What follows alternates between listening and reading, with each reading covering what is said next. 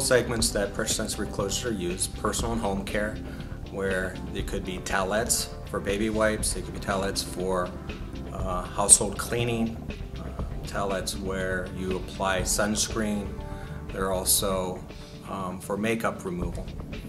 Um, in foods, uh, it could be in the produce section where you may have lettuce or spinach with the thermal form package, but it may have a pressure sensitive lid where you can open and close and get at the contents at your leisure.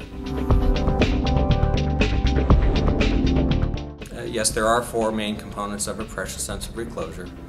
Uh, the first would be the flex packaging, which is the, which is referred to as a flow wrap. Mm -hmm. There is the pressure sensitive labeling material itself. There is the die cut within the flow wrap, which is the opening to the package, referred to as the racetrack. And lastly is a cut within the label, referred to as a fish hook. The package flow wrap is, is a flex pack material that a wide web flex pack supplier would do the printing and the laminating of multiple components. It can possibly contain um, polyester, polypropylene, or a heat sealing coating or layer.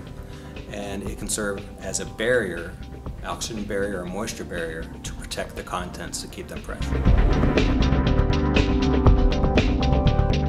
The PS closure material is one of the most important parts of the reclosure system in that it provides the functionality that the end user is looking for. He may be looking for a very smooth, buttery opening. He may be looking for something that is a little zippy, a little noisier to indicate it may be tighter.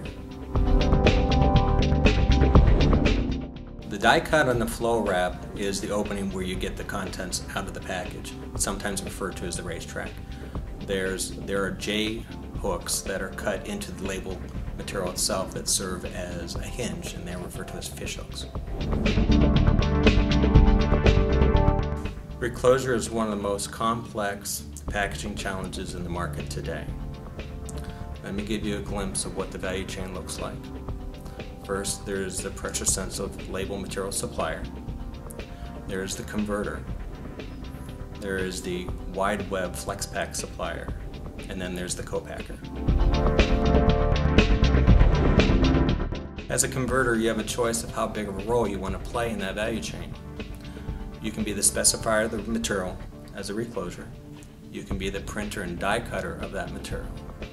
You can also dispense that label onto the flow wrap and die cut the flow wrap given it its racetrack. There are many things to consider in choosing the right pressure material for reclosure. What are the contents? Are they wet or are they dry? Is this food? Does it require FDA requirements? Are there harsh chemicals involved? So we have to make sure that this adhesive has product resistance. What's the shelf life of this product or how many servings are in this package? We need to make sure that this performs as is specified.